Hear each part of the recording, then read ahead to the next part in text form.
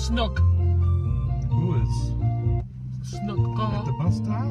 Snook. Oh, oh, when we seen that girl smoking? Riding a bike smoking? That was gross. Last day. Last day of that was last year. Hmm. Remember, she was riding a bike and smoking.